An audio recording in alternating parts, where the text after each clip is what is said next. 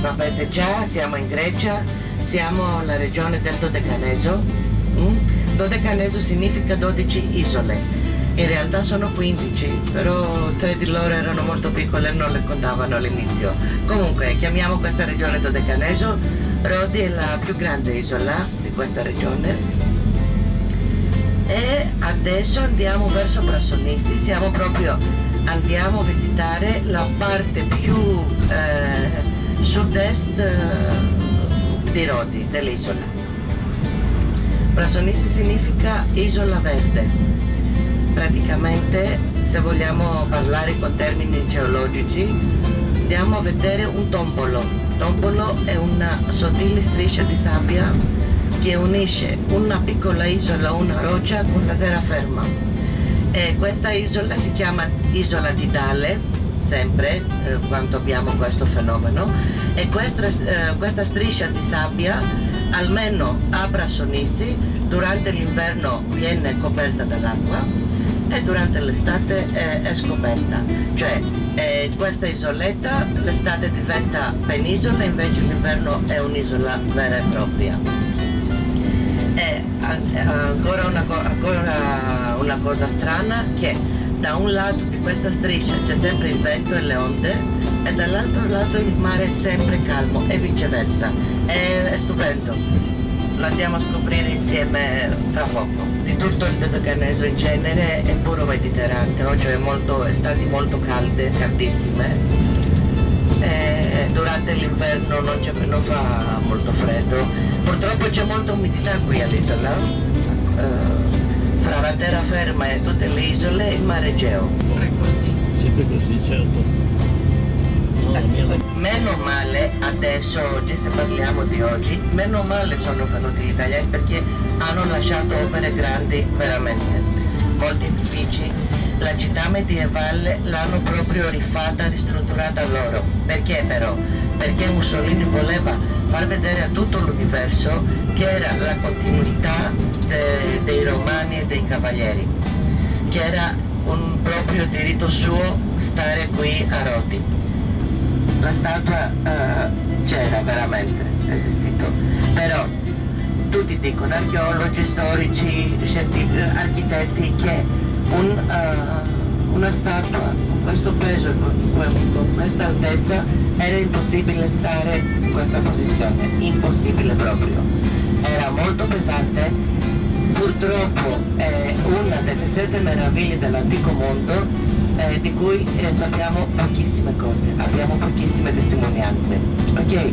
Non sappiamo eh, il peso esatto, sicuramente pesava tonnellate, però dell'altezza sappiamo che era alto 31 metri. La statua della libertà dicono che si è ispirato da Colosso come tiene la torcia, come ha questi agi sulla testa. Allora, Colosso l'ha fatto un famosissimo scultore che era nato a Lindo, Carete di Lindo, si è messo 12 anni per costruirlo. E povera statua, poverino, ha vissuto solo la statua, dico 66 anni, quando è uscito in pensione è morto, come succede a molte persone, ok, a causa di un terremoto, perché Rodi, a Rodi succedono spessissimo eh, terremoti pure forti. Però dovete notare come da questa striscia di cui abbiamo parlato, da un lato ci sono le onde e dall'altro lato il mare calmissimo. e guardate la striscia di sabbia che stavo dicendo a destra ci sono le onde una settimana fa che siamo venuti di nuovo per una gita del genere le onde stavano dall'altra parte sì, al contrario. Questa striscia durante l'inverno non esiste. Si vede solo l'isoletta questa isola e ci si può andare solo con la nave o nuotando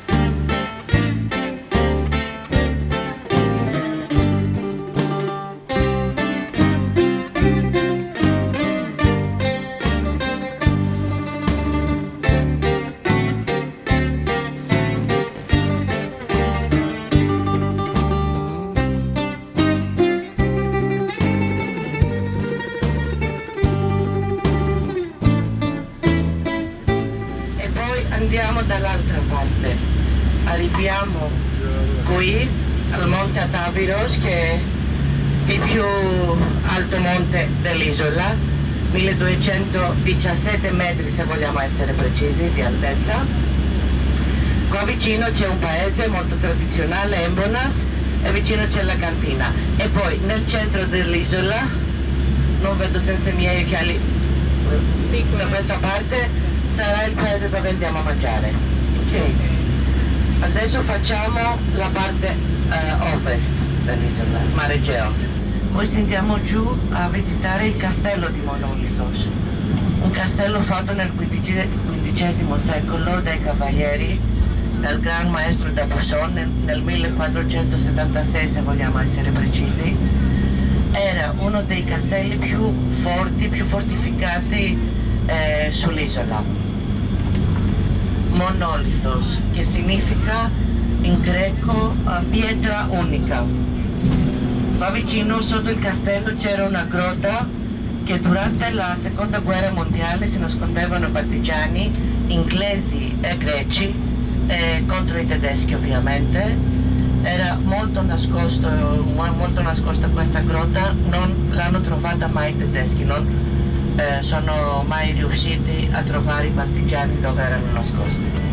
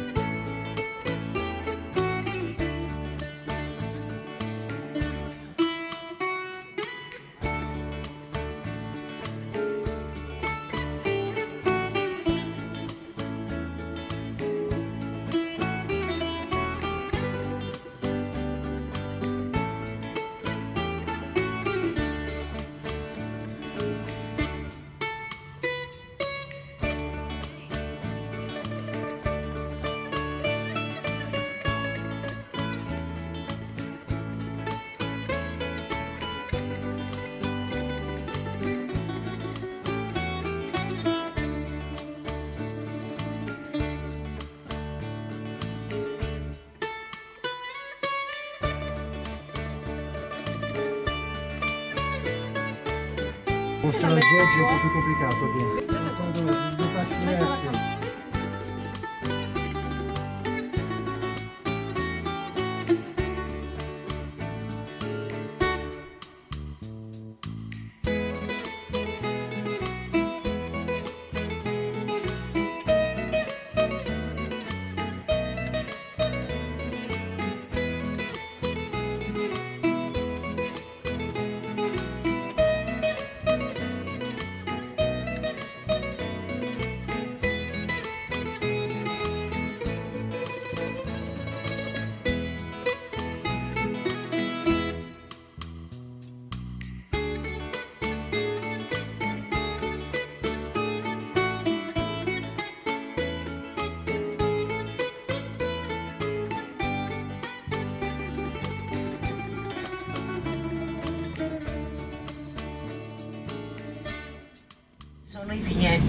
Così sono anche a Santorini. Tutto questo succede a causa dei forti venti che ci sono qui. Per questo questa varietà di vigneti stanno proprio eh, sulla terra, sono così bassi, per essere protetti ovviamente dal vento.